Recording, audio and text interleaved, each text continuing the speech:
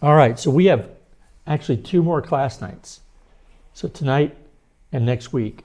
And the 15th, uh, we won't have class here. I've got a conference I'm at that night.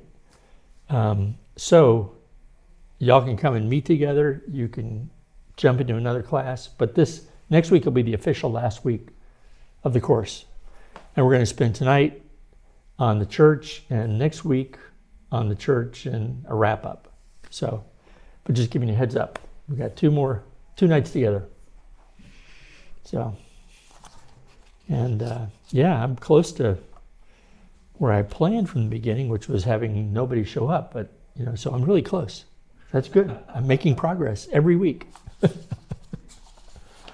Well, if you read your conference paper, that would definitely run everyone away. Yeah, I'm doing a paper at that conference. Yeah, uh, so what's that?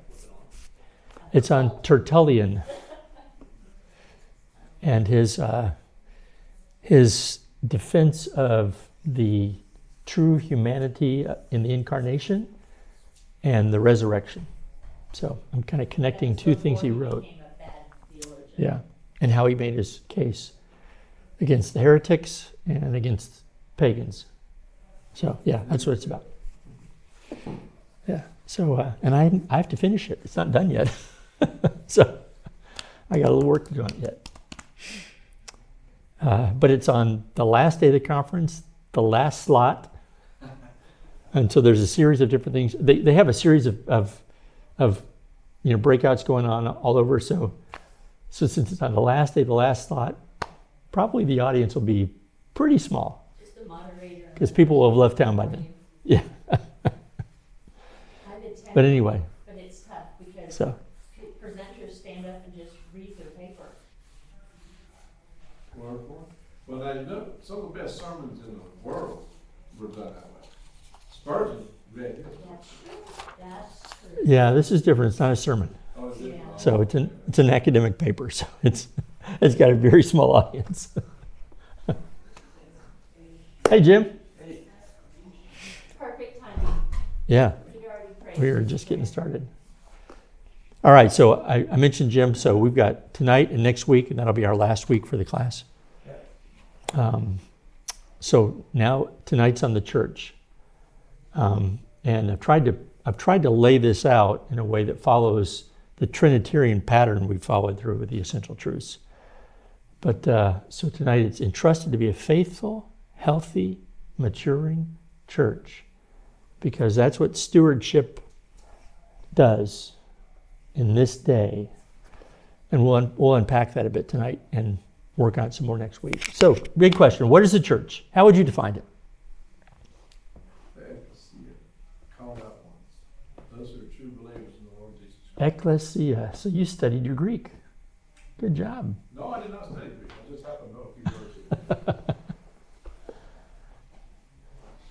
Well, I'm going to give a few, a few, uh, few concepts that are, I think, biblical to take us through this. And um, so, what the church is, biblically, defines or determines what the church does. We'll see the unfolding of it in Scripture, especially in, we'll look tonight, uh, particularly at the book of Acts. And we'll, um, as we're doing that, we'll get a introduction to what are the marks of the church.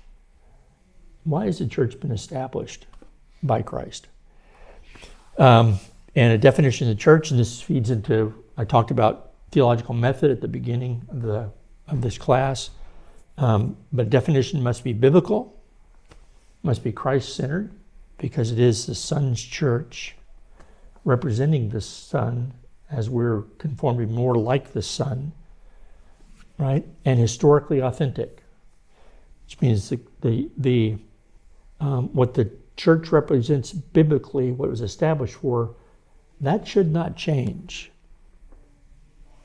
The foundation of the church should not change, even though how the church practices certain things can change.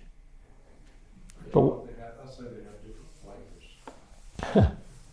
But we're going to get into the marks of the church, and we'll look at the marks. Um, of the uh, of the church, and those things should be the same, no matter what time in history the church is in. Uh, and so, a general definition of the church is standard for particular churches, and we're going to see that in Scripture.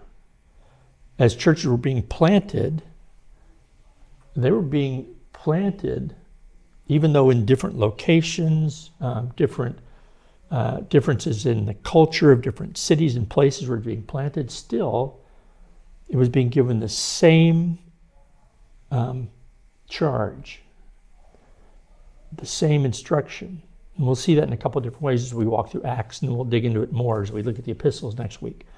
So, the true body of Christ is the one holy, Catholic, and apostolic church, called by God the Father united in Christ, and preserved by the Spirit. That's one definition of it. Um, and The word church at all in the Old Testament, or was it in, I don't remember it in the Old. stand by. Okay, Yeah, we're going to look at language in the Old Testament, okay. even though the church, as it is today, is established in the New Testament. Right? We're going to look at look at language in the Old Testament that describes something similar, even though the church is different. So, but a good, great question. So here's the Creed of Constantinople. At the very end of this creed, so we looked at the Holy Spirit. We looked at Nice, Nicaea said, "And the Holy Spirit," and then Constantinople defined it better or gave a better instruction of it because there was heresy about the Holy Spirit, false teaching. But they did this at the end. They, they gave this statement We believe in the one holy, Catholic, universal, and apostolic church. And then they added on We acknowledge that one baptism for the forgiveness of sins. We look for the resurrection of the dead and the life of the world to come. That hope statement. believe that you have to be baptized to be saved. Um, that's not exactly what that means. It was not water baptism, but that's the statement Holy about. Spirit baptism. Mhm. Ah, there we go. Right. Um, but the normative thing to do once you came to faith was baptized. Yeah. That was the normative practice. Um, and over time, they began to debate what that meant. They worked through, there were differences on understanding what baptism meant. We're not going to go there tonight. Okay. So, um, No, it just struck me, I'm sorry. Yeah, no, no, that's good. That's good. Good question. So, um, this one holy Catholic and apostolic, that statement was not something that they just came up with on the fly as they're working through that, that creed and confession. This is what they, over time, recognized that this is what the church is. Um, and not only looking biblically at that, but also just as they were working through um, the church as it's now finding itself in a culture that has both um, both rejection of the gospel, pagan beliefs, but also inside the church there were disagreements and difficulties, and some were false teachings. So here's Constantinople. You've been through um, post-apostolic. You've been to now. Uh, you're in your fourth century, and so the the church is saying, this is what we are. These are four marks of, of the church, what it represents biblically, and now through the work they had to do to, um, to address things in the church, address structure, address um, the uh, carrying on the apostolic teachings, that regula fidei, um, being grounded in the scripture, um, coming to where, oh, every church has to confess this. Every church should practice this, the, the baptism and the Lord's Supper. Um, so they, they crafted this statement creedally so that this is something the church would confess.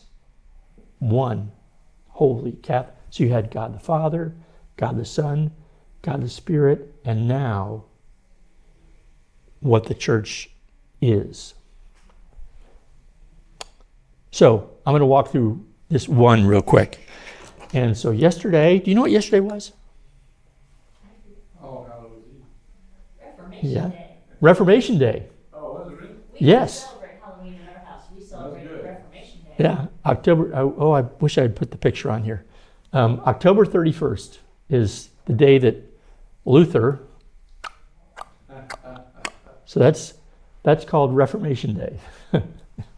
now, what he did wasn't the Reformation, obviously, but but it's tagged. That day is tagged as Reformation Day. So.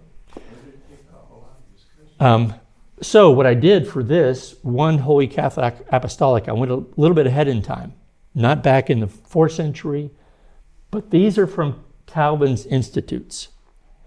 Calvin wrote, um, if you look at Book Four in the Institutes, and you look at most of the most of, of that Book Four, he begins at the beginning, kind of unpacking these things about the church. What is the church? And he's doing it biblically. He's doing it historically, and he's doing it to address what he saw as not that in the Roman church. So he's also addressing that as well. So it's his theology of the church from Scripture, from church history, tracing back and addressing what was going on in his day. It's as if um, it's as if say that the uh, um, the pastoral staff at First Baptist Boerne saw something that was wrong, and they sat down today and said, "You know what? We believe this because it's in Scripture. Uh, we believe this because that's historically true. That's what the church has always believed. But there's something going on that we need to address. And let's go back to the starting point, Scripture. And let's show how this is faithful to the Scriptures. It's been faithful throughout church history, except for this. So, uh, one, here's what Calvin said, and this is just one little excerpt from a long discussion he did on what one means. They are made truly one. This is believers, since they live together in one faith, hope, and love in the same Spirit of God. So the church is one. He also reflects on Christ's prayer in John 17. May they be one, even as Father, you and I are one. May they be one. Holy. Um, and he talks about that, and he recognized the imperfections in the church, the imperfection people, and he said, The Lord is daily at work in smoothing out wrinkles and cleansing spots. Uh, because he's uh, he's striving, I mean, by the Spirit, striving to make us holy, not only as individuals, but as the church. Not only just the local church, but the church. The church is holy then in the sense that it's daily advancing and not yet perfect. So he recognizes that truth about the people of God, believers in Christ. Catholic. The church is not, not it's not only the visible church, but also to all God's elect. And he talks about that's true throughout history, all believers throughout history. He talks about the distinction between the visible and the invisible, um, because he realizes there's tares among the wheat. And he says this so this echoes what Irenaeus said very early. The church speaks with one voice. He said, There cannot be two or three churches unless Christ be torn asunder. Because there's one Lord, one church. So even though in different locations, uh, there are individual churches, but there's one church. Uh, because it cannot happen that, that, um, that there are multiple churches different than what Christ established, different than what the Holy Spirit stewards. There's one church. That's a huge statement, especially in our culture today. Um, for Calvin, he is he's reacting to, as Luther and Zwingli and the Anabaptists were, he's reacting to um, what he sees as wrong in the Roman church. And he sees in Geneva, because there's other churches and pastors that are over those churches that are in his area. And he's saying Yes, but we are one church. So the church with the pastor over here in that neighborhood, the church pastor over here in that town nearby, we're still one church. Reflecting what the church was, at least early on, had practiced. And even the Roman church was saying that about themselves. There's a, there's a pope over every, over every, every church. I can see you have a question or comment. How do you reconcile when, like those one worships, where you see five churches in a community come together on a football game and they're, hey, we're all, we're all believers and let's all, you know, go, it doesn't matter what church, you just go to church. We used to see that a lot where we came from. Um, how do you, never asked, but how do you reconcile that? Cause we are to be one church and I might not have complete beliefs of things with one of my neighboring churches, but Yeah. Well, well, what what uh, what Calvin identified, and we've we've said this statement before. He identified the marks of the true church. He said, if the church is doing this, that's a true church. And he would say, any church that's doing that, go back to the there's not there's not you know the the many. Any church that's doing that, that's the true church. Christ is not torn asunder. That's that's that's the true church. Any church that's not doing that, that can't be the true church if they're not proclaiming the gospel. Um, and so, and we're gonna we're gonna dig into this. When we get into the marks of the church, so we'll, I'll introduce that tonight, and we'll spend time on it next week, kind of unpacking those. Um, just personally, sometimes that's really irritating, or it has been in our home, because you're like, wow, wait, no. You, you can't say that the, what, I'm not gonna say a name, is a church you really wanna encourage people to go to. Yep. Apostolic. This is the difference between the apostles and their successors. So he, he's saying, okay, the, the apostolic era ended, there were apostles, and then that was handed down. And he says, the former, that's the apostles, were sure and genuine scribes of the Holy Spirit. Hey, Lisa. No worries. Um, so, apostolic. The difference is the former were sure and genuine scribes of the Holy Spirit. That's what they were given to do. So they're writing scripture and they're teaching the truth of God's word. Um, and they're establishing that in the churches that are being planted. The sole office of others is to teach what is provided and sealed in the Holy Scriptures. So he's reflecting on the thought that was in the early church. Remember the regula fidei? We're trying to make sure we're, we're faithful to the, to the apostolic teaching and the scriptures. He's refining that a bit and saying, at the end of the day, faithful to the scriptures. So the prophets wrote, apostles wrote, the Holy Spirit was the, was the one who, through them, gave us the scriptures, so we're faithful to the scriptures. That's what it means to be apostolic. Because the apostles wrote um, when Christ came and was incarnate and after he left, and they're writing everything tied to the gospel, but they're also tying back to the Old Testament. So, um, so here's Calvin. That's 1559. That's what almost 500 years ago. Um, when he wrote these words, kind of defining them. But we're going to go back and and trace it some more, a bit and a bit. But what the church is not.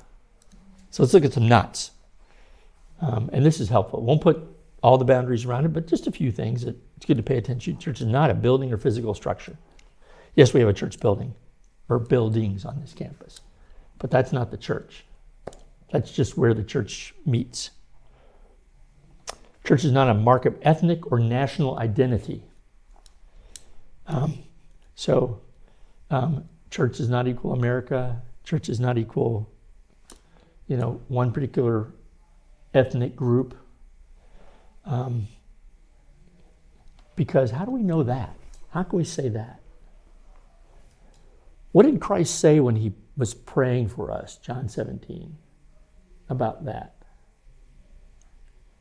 They are no longer of this world, but I'm sending them back in the world.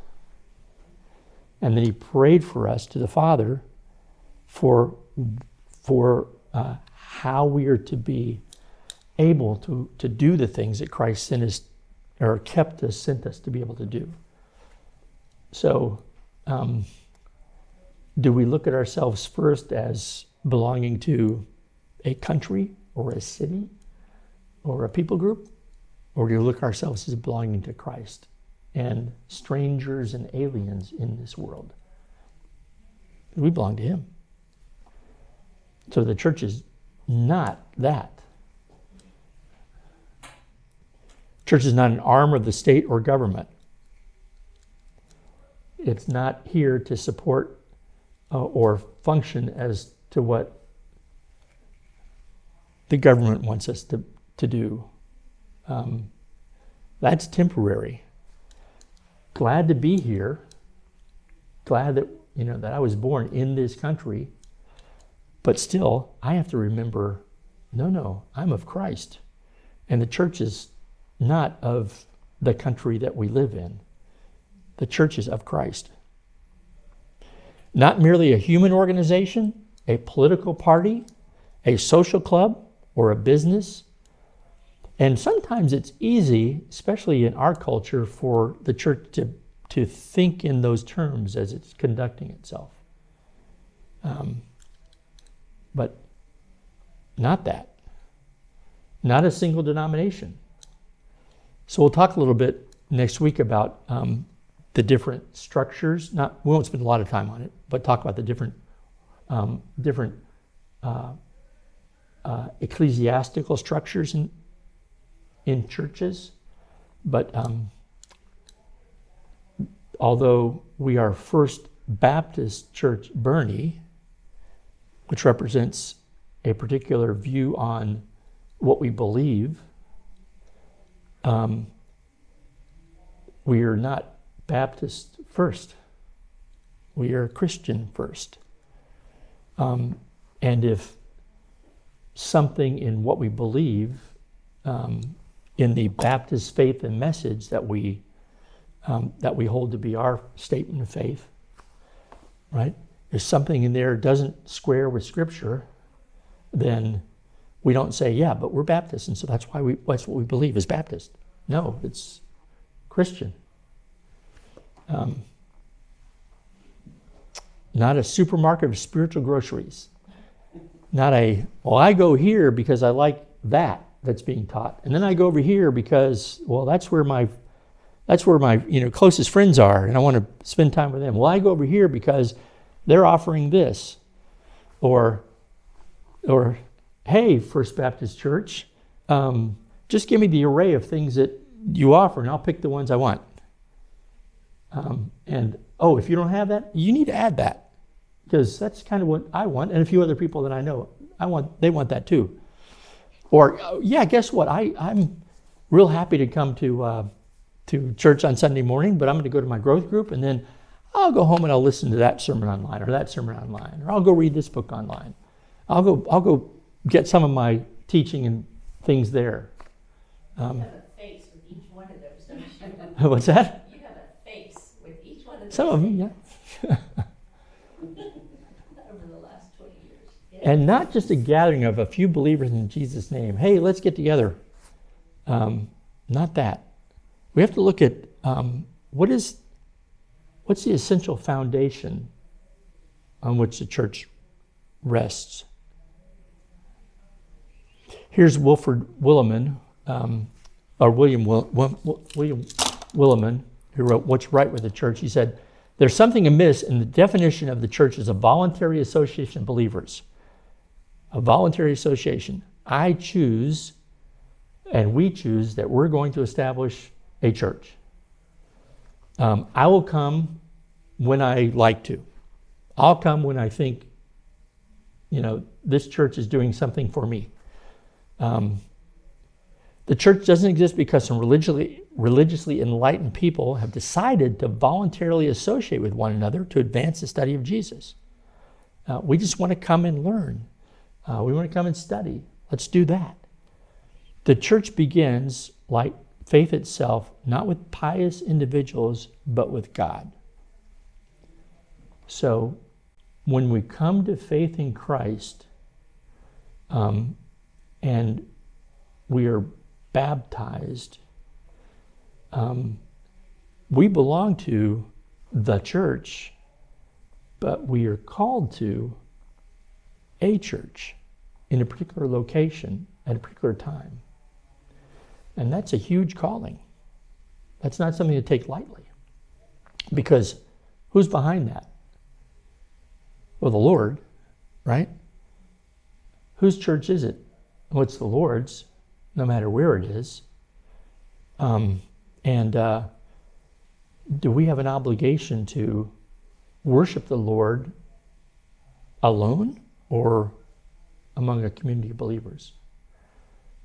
Do we have an obligation for others? Forsake not the assembling of yourselves together, as some have, Mm. have grown weak. Hebrews 10:25. Yeah. But continue encouraging one another. Church in a fierce thing. Or Hmm.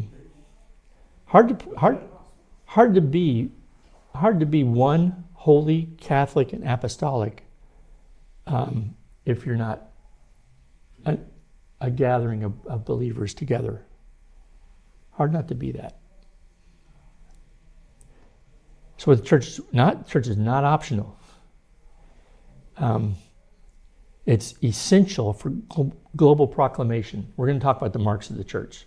This this is just a little sliver of that. Essential for global proclamation, for proclaiming the gospel. Essential for corporate worship, believers together worshiping the Lord, um, glorifying God. Essential for God's sacramental presence. So when when we participate in uh, in observing a baptism, when we participate in taking the Lord's Supper, um, that's not simply a, oh, that's just me doing it right now, and others happen to be doing it too. And we're doing it as an assembly of believers. That's why Paul writes about that um, in 1 Corinthians 11, describes the, the practice as a community of believers. Essential for sanctification. Um, that uh, we are to help one another, and some are given to do it in specific ways, uh, to grow in our likeness of Christ, to grow more in that way. Hundreds of passages on that, lots of one another passages which talk about that. So, stewarding confession, and we're going to walk into the book of Acts for a bit. Spend a little time there. So, biblical revelation, what does God disclose in Scripture? How's that rightly interpreted? We've, we've seen that before. Faithful and careful expression, how's truth being guarded and taught? I gave you a little glimpse into Calvin's work on that. He's deeply thinking and writing about uh, what the church is. Um, practical implications, why is this truth important? How do we apply it? We'll get through um, part of the first piece tonight and then I'll point you to some of the things that are marks of the church. Calvin's, by the way, were just three things. Marks of the church is the is the uh, the word uh, the word uh, true truly preached and heard, uh, rightful administration of the sacraments, um, and uh, uh, the um, oh my gosh, I just blanked on number three. Um,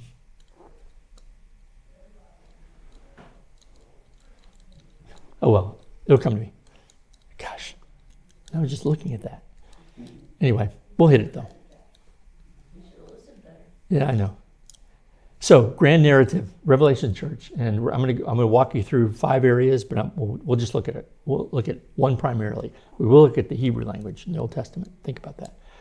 So, the language of gathering in the Old Testament. There's language of gathering. That's not, not different from what God, God called the people of Israel to be. Um, radically different when believers now have the Holy Spirit.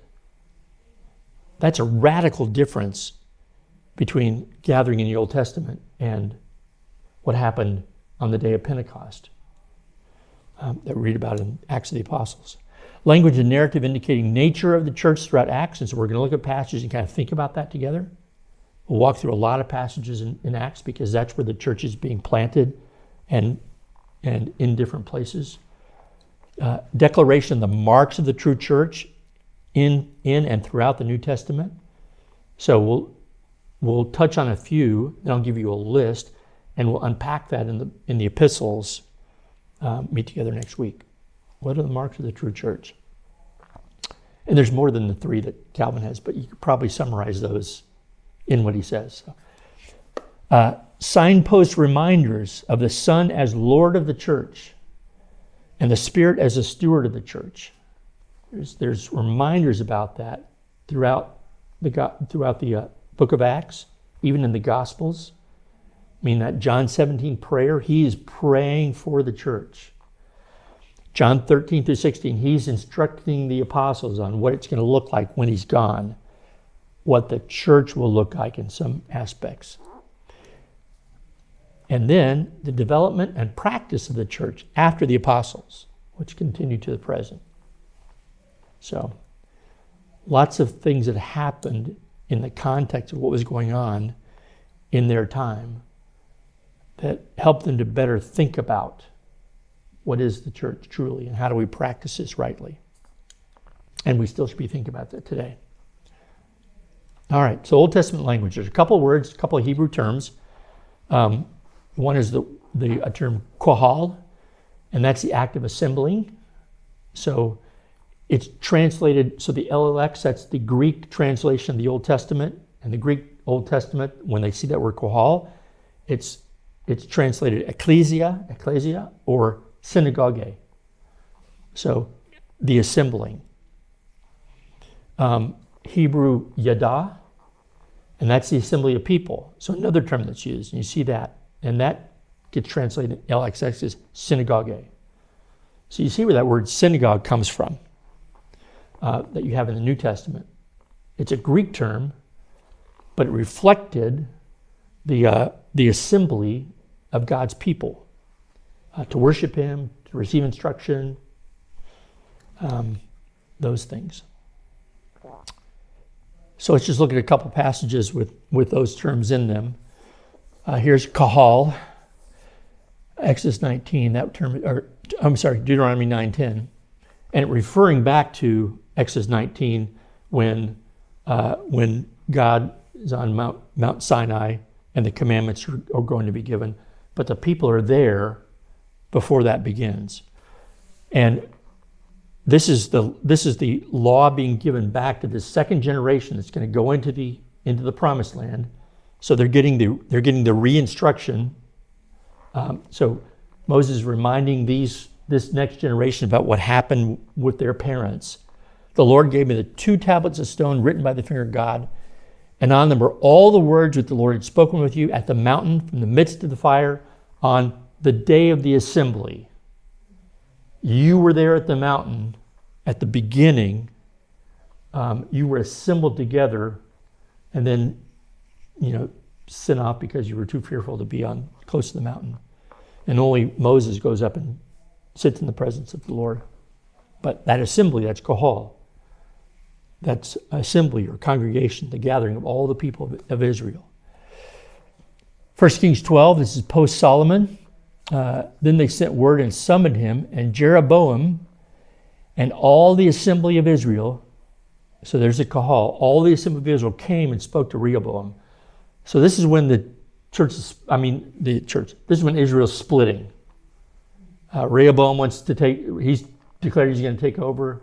Jeroboam is challenging that. They're all coming and speaking to Rehoboam about how, if he's going to be the leader, how he should conduct himself. But it's all the assembly. There's a call. Exodus 12 3. This is the initiation of the Passover. And uh, the Lord tells Moses, Speak to all the congregation that Yada, all of Israel, saying, On the 10th of this month, they are each one to take a lamb for themselves according to the father's household. So the entire assembly of the people, the entire people of Israel, are being told how they are going to remember what God did to deliver them through the practice of the Passover. Here's how you're going to do it tonight, and then here's how you're going to practice it. So you've got that sense in the Old Testament of the gathering of God's people. Of course, then you have the the different practices of that gathering. You have the um, the festival of booths. You have the Day of Atonement. Uh, so you have those different times when people are are gathered together: the formal times and the informal times. Here's the New Testament. The word in the New Testament is ecclesia. So or ecclesia. Um, and in the Greek, that could mean just a social or political assembly, the general word in the Greek language, the general word in that culture. Ecclesia could mean that generally. But it's used in the New Testament, and especially by Paul in his writings, he employ, employs that Greek term, that term which meant some kind of an assembly, to refer to distinct community or communities of Christians. So Paul takes that word and applies that to describe Christians meeting together, gathering together, being established together. Um, and so here's four meanings of ecclesia in New Testament language. It could be the general assembly of believers. It could be a local Christian congregation. So we see in Revelation 2 and 3, those letters to the churches, that a letter is being written to each individual church specific to what they need to hear. Um, a regional Christian community. So it could be just generally a, a community of believers in an area or region. When it says write to the church in Sardis, it's literally saying write to the ecclesia in Sardis, is that what it says? hmm Yeah, Or- yeah, okay. yep. Exactly. And then the whole church. So when Paul writes something, it's addressed to the whole church, encompassing whole church. Even if it's in a particular letter to a to a congregation, he's describing something that's true for the whole church, ecclesia. Um, so those four general definitions. Um, and uh, the ecclesia used for a local Christian congregation is the common use. That's the most usage of it in the New Testament, speaking to a particular congregation. Book of Acts and epistles as well. Uh, and where do we get the word church from? Well, that's actually an English term. Um, and Kirche from Kyriakos, meaning of the Lord. So they adopted that Kyrie, church, akos, of the Lord. Um, so that English translation. Okay, let's look. At, let's walk through a bit of Acts. So Acts five eleven. And great fear came over the whole church and over all who heard these things. Well, what was the context of that? That's where Ananias and Sapphira have lied to the Holy Spirit and they're individually called to account. And when, when this term is used in Acts, ecclesia, the whole ecclesia, that meant everybody in the church in Jerusalem. I mean, everyone. Fear came over them. Acts 8, jump a little bit. On that, on that day, a great persecution began against the church in Jerusalem. So this is right after, right after Stephen was martyred. So now that initiates persecution to the church. So Stephen, proclaiming the gospel in a very fierce um, and direct way, gets stoned. Saul's, Saul's watching as this is going on, standing by his clothing. And then a persecution begins against a church in Jerusalem, eh, so that they were all scattered throughout the region of Judea and Samaria, except the apostles. So they, they're going to flock out. Well, guess what? That's also going to spread the church into churches. That process will begin. God has a tendency to do that. Remember the Tower of Babel? They all spoke in one language, they were all piled up in one place. But at the very beginning, he told them to do what? Take over the whole earth, spread out, become more numerous, you know, multiply. And they didn't want to. So he sent, he, he confused their language, so they had to scatter. and hmm. turn. And so then again, he tells them, and I want you to go to Jerusalem and Judea and Samaria, and the other parts of the world. So they're all congregated there in Jerusalem, saying, oh man, this is pretty good. We're all together here. We're having a good time. Yeah. Well, You know, it, it's you know? yeah, it's not And he necess- said- he it's not necessarily persecution that way. it's not necessarily they're being disobedient. No. That's not that's No, not that's right. not true. Yes no. No, they're They're they're not deliberately being disobedient. they don't yet fully understand Yeah. because the promise has been made and this is a catalyst to to help begin that process this persecution. But uh, because they're not resistant to doing it. I mean they have to learn it just like paul had to learn oh it can go to the gentiles. So it's not it's not resistance to the command of christ the prophecy and the promise and the uh, instruction. Um, and they don't, but we also know they don't get accused of being disobedient. So it's not. anyway, Saul began ravaging the church, entering house after house, dragging off men and women. He would put them in prison. So, describing Paul's work to go from this place to that place to that place, not like there's all of them assembled together. Acts 9. So, this is the next chapter.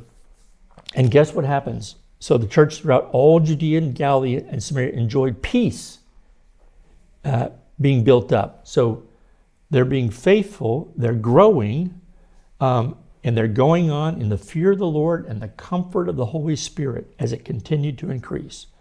This is just after Saul's converted. So Saul's converted in Acts chapter 9, and then the church experiences uh, this peace. But notice, in the comfort of the Holy Spirit, is the Holy Spirit present and active? throughout all that's happening in the church? Absolutely. And this is just one of those little signposts of that. Acts 11, 22, 26. The news about them reached the ears of the church at Jerusalem. Um, and they sent Barnabas off to Antioch. So they're going to go get who? Saul. And bring him to Antioch. When he had found him, he brought him to Antioch. And for an entire year, they met with the church. So here's Paul now. He's he's on staff at the church in Antioch and taught considerable numbers. And the disciples were first called Christians in Antioch. First called Christians. First time that name. So you go to late fourth century, and here's um, uh, Chrysostom, who's bishop of Antioch. Well, he's not bishop yet. He's a presbyter under the bishop. Um, and there's a big riot in Antioch about something that the that the uh, emperor did. And Chrysostom, while so the bishop has to go and run off and try and protect the city from an invasion from the emperor based on what they've done. And Chrysostom has to preach, and it's time of Lent. It's a time where they're preparing for Easter. And so his first sermon is about this, and he because some church members were involved in that riot.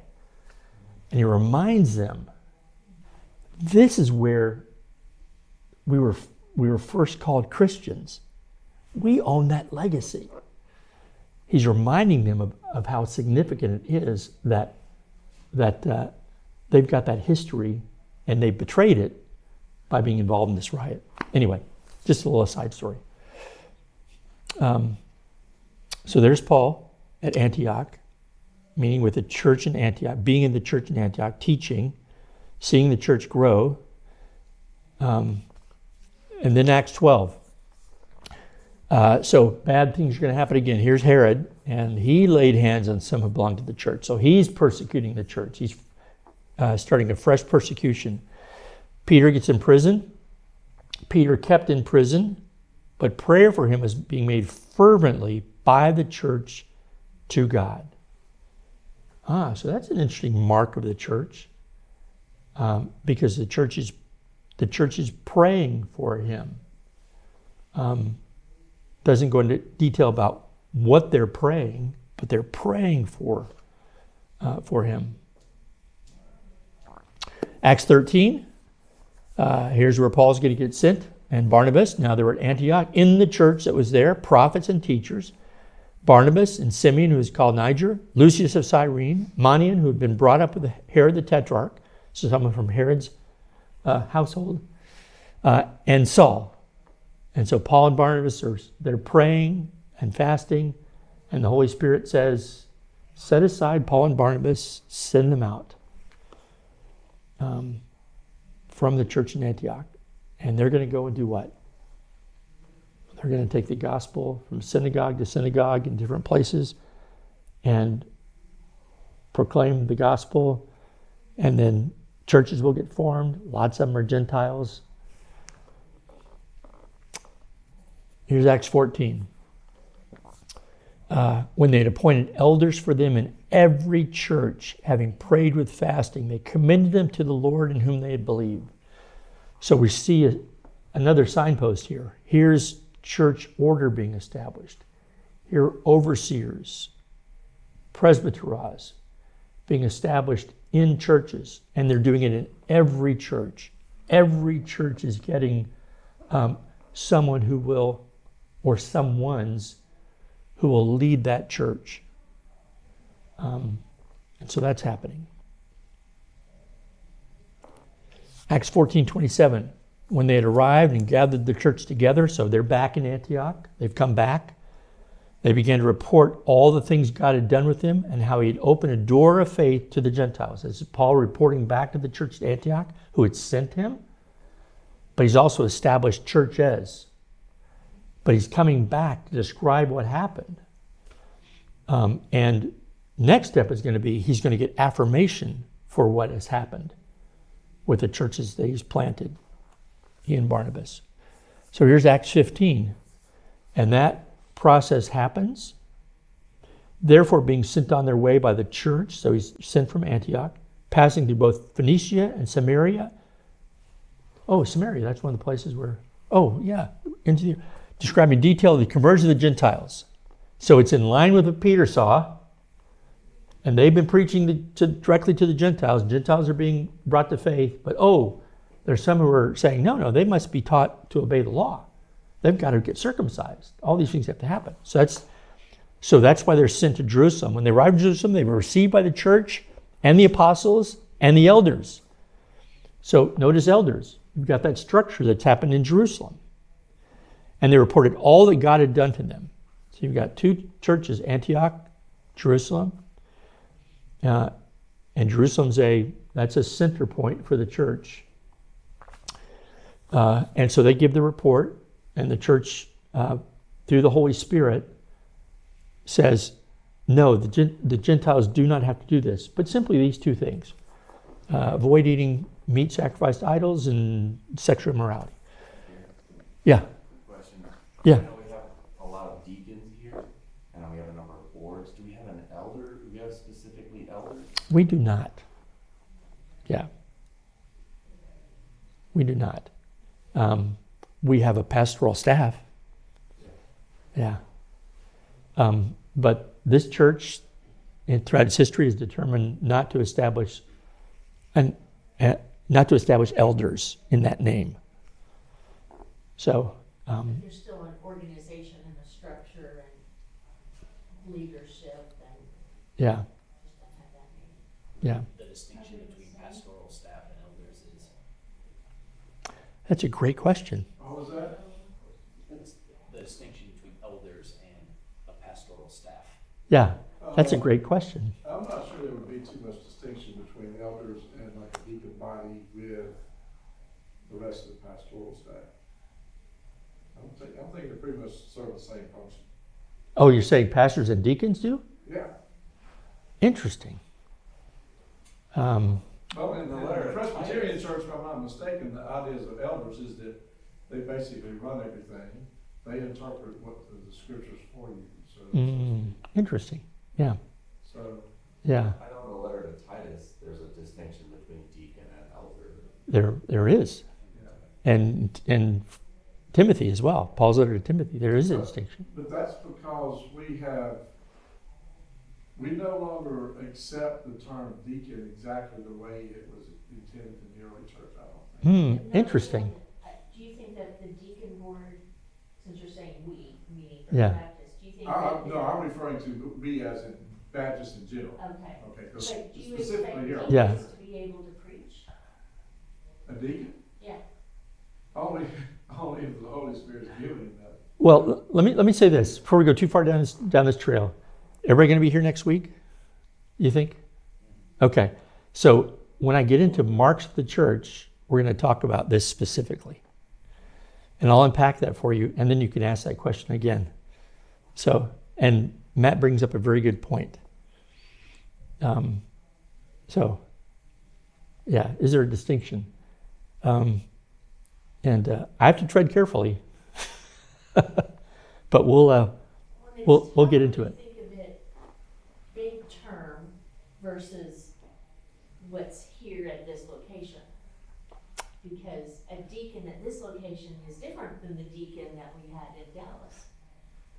And Probably a whole lot different than the deacon I had back in Bayou Jack. yeah So, okay so re- remember that question i'm gonna uh, it's gonna be here anyway but remember that question so that i make sure that i've addressed it um, to your question and to your comment and to your comments So- I'm still hung up on the word church because they certainly had, there was the temple and there were synagogues which local Jewish people went to Yeah. and had their assembly. yeah So why did it not just become synagogue? Why are we not a Christian synagogue? oh well um, yeah remember that um, well yeah yeah um, Because the Old Testament was the assembly which became Right. synagogues. Yeah. But, but just a quick clarification, s- the same way that, that we make the distinction between the church as a, as a gathering of people as opposed to a church building, yeah synagogue, Would have sin, been a- and, and agage Okay. is, sin is, is with, and agage is just as- assembly of people. Right. So It's, it's, it's a- an assembly of people with each other in and amongst each yeah Because they didn't necessarily, they didn't have the spirit, so it was a coming to a building to perform. other. No, no, no, so it's not, the building is not the synagogue, the gathering of the people is. the Right. synagogue. So, so the way we make that distinction between church, building versus the people, Right, the Jews make the exact same distinction. with So synagogue. so why did we not become Christian synagogues? I mean. I mean, there, well there's a, there's yeah. Grammatically, it's, it's, It they're, would- they're identical. Yeah, but there, so there's but there are a few reasons why. Notice that we see here we're seeing luke use that term. Then we're going to see paul use that term. Church? huh? Then we're going to see john use that term. Um, so uh, so it's it does define something distinct about Okay, About an christians assembly of people of the Lord. And it took on the, Yeah, that's why the the uh, um, the uh, English term church comes from that of the Lord, right? Um, but that's would be anachronistic to go back and say, well, that's why we use ecclesia because that's not. Um, but um, you've got a distinct people because they've been. What, what's what's the big one big difference between the church and uh, the, the assembly of people in the synagogue and the assembly of people in the church. Yes. yeah. Um, regenerate, presence of the Holy Spirit, right?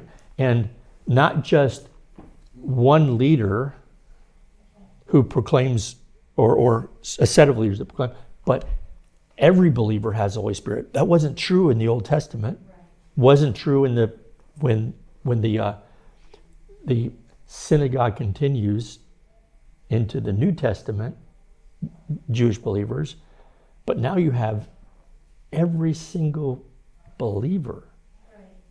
So Interesting that the word cut on and that we weren't, if we Yeah. weren't called the building of the way. So, I guess it's Yeah.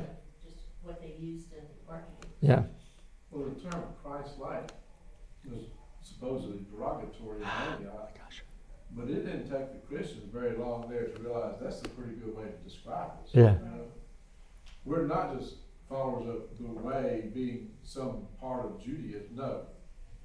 We're Christ-like. I can see how that Yeah. would catch on. But we don't really know, because we weren't there. And um, who's the author of the scriptures? Holy Spirit. Well. So there's something there as well in the choice of term. um, okay, uh, we just got a few more minutes, but I got to get through some more of this. These are these are great questions. This is really good. Uh, but we'll finish out Acts real quick. So here's Paul, um, and he's he's he's back on the road, traveling through Syria and Cilicia, strengthening the churches. So the churches were being strengthened in the faith, and were increasing in number daily. So there's a continued consistency in individual churches, not the growing per se, but the strengthening. Because Paul is doing the same things in each church that he's visiting to. He's trying to give them instruction in the faith, which is what he describes to Timothy in his letter to Timothy. Uh, and so, uh, even though different context for the churches, because each letter is different in how Paul needs to address that particular church with what's going on, but still his goal is growing them into maturity in Christ, establishing these overseers, these elders, these presbyteros, who will be able to faithfully teach the word to the believers, who understand what's how, how the church should should grow and should honor the Lord, who should practice the the baptism and the Lord's Supper uh, as Christ established it. So if they were translating the scriptures from Greek or Latin into English, they just put the term church in Yeah. there. Uh, okay. Yeah. Um, when he landed at Caesarea, this is Paul, he went up and greeted the church and went down to Antioch. From Miletus, he was sent to Ephesus, called to them the elders of the church. This is when, uh, when Paul's on his way to go to Jerusalem, on his way to be to, to go on trial, experience whatever's going to happen there that he doesn't yet know. Um, but he calls the elder church, be on guard for yourselves and for all the flock, which among the Holy Spirit made you overseers.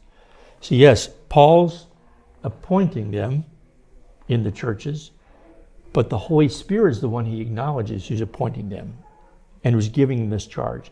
And it's the Holy Spirit who's going to, uh, because he doesn't think he's going to be with them again when he says this to them. But uh, you have responsibility, but the Holy Spirit's the one who is, has established you in this, in, in this um, office, in this responsibility as this leader, um, to shepherd the church of God, which he purchased with his own blood. Now, the term overseer there, is that what we call today a bishop, pastor, or a deacon? Well, the terms are there's two terms, and they're they're kind of there's overseers and presbyteros, episkopos and presbyteros. Um, so, and yeah, there's not in this time there's not a distinction between those in the churches. So we'll talk about that next week. Um, here's Kevin Giles. Uh, the point seem, need, simply needs to be made that in modern English, the best word to give the meaning of ecclesia in Christian theological usage is community. Sometimes the word alludes to the whole Christian community, all believers everywhere. Sometimes the Christian community in a particular location. Sometimes the community people meet together. The reason I ask you that question is because he refers to the elders as overseers, and the way we interpret overseers could be, I mean that the elders are the same as whatever. Yeah, there's there's there's a there's an episcop a, a ecclesiological episcopacy that develops over time that we'll briefly touch on. And I tell you, every one of them claims, no, this is this is in Scripture. So that's a fascinating uh, thing to, to study about. The true body of Christ is one holy Catholic apostolic, called by God the Father, united in Christ, preserved by the Spirit, and a true con- con- Christian congregation today. This is not a whole lot different from what Calvin would say back in the 1600 or the 16th century, 1500s. Not different from what uh, from what Constantinople was saying. Not different than what Irenaeus was saying, uh, second century. True Christian congregation today is centered on Christ's person and work.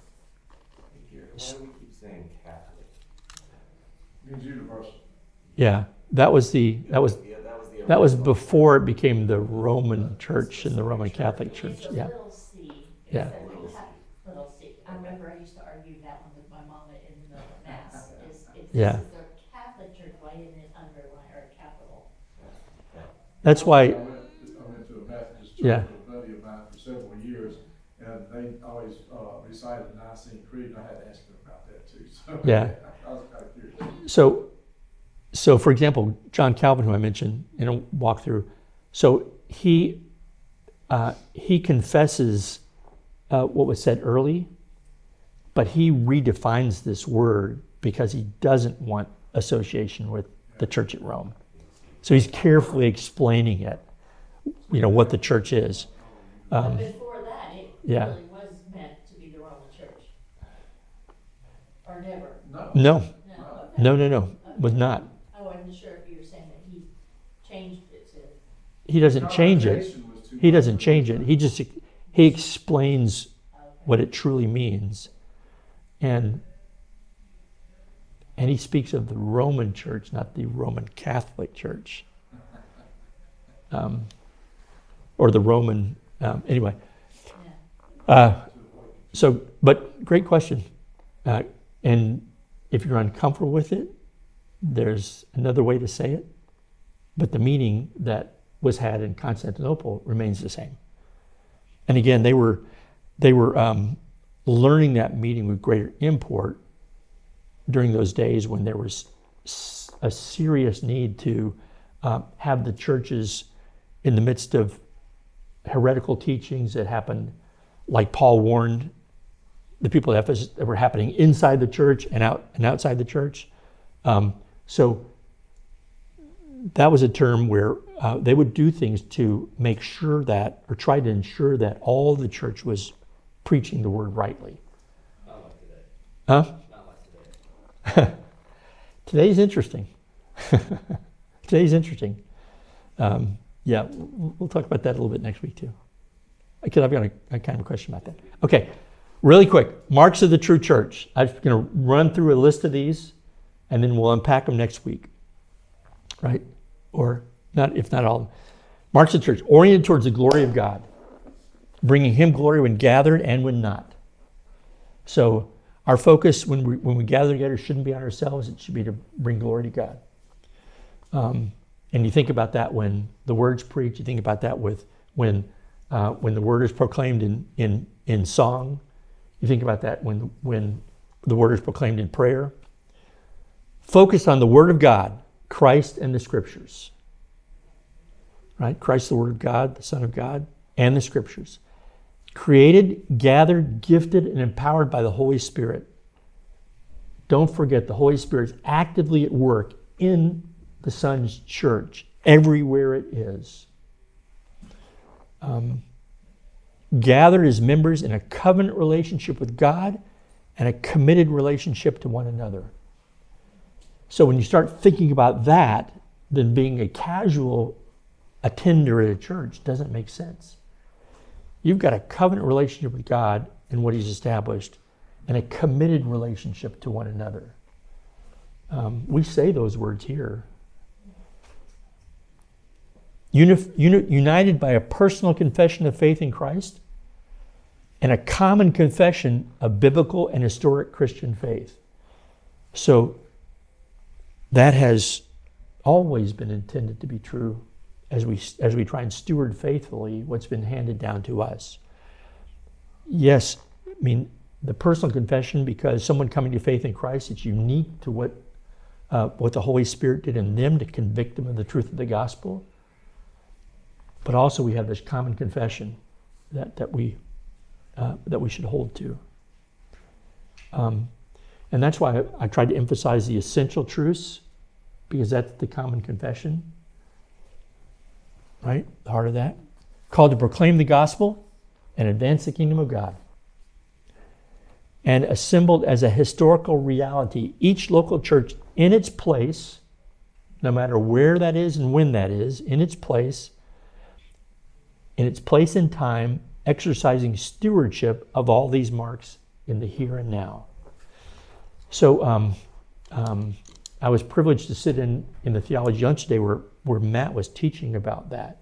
He's teaching about the, um, the discipline and instruction that fathers are to have to their children, walking through how important it is for us to be able to establish the truth about God, Father, Son, and Spirit, the truth about His church, the truth about the confession of our faith. And that becomes the, he used the term blueprint. Um, uh, the, so the paideia, I say that word right? Yeah. The paideia by which um, we instruct the next generation so that when they encounter anything going on outside the church or in the church, um, they're learning how to respond with the truth of God's word. Um, so that's one of the reasons why I wanted to do this class, so we could think more about that. All right? Okay, next week we'll, we'll work more through this. Jim will hit on your question, right? Because we're going to talk about orthodoxy, order, which is the those who have been established to oversee the church, um, and how that works, and then ordinances, the practice of those things. So those are three marks of the true church. Just we put a Um, lot of emphasis on being historically accurate to the way the church has always done it. It Says elders, you don't have elders. So I'll, I'll be interested to see what you say. Yeah. Yep. Yeah, tell us why you're wrong. I will too. And then, uh, yeah. yeah. So we'll we'll talk about it. Yeah. Unless we have elders by some other name. Because, I mean, even the Apostle Paul, just- I mean, not, but in Acts right there, they just gave you two different terms. One was overseer and the other was elder, and it meant the same thing. It was the same people that he was talking to. He Trent, said, that's- You yeah. I mean, I actually called them elders. Yeah. So, Well, I'll kind of elder by any. I'll, I'll yeah I'll quickly walk you through the Greek terms. The episcopos, presbyteros, diakonos, the deacons. They are distinct. They are distinct. They're what? They are distinct in Scripture. Yes. Yeah, they're distinct in Scripture. So we'll talk about that. All right.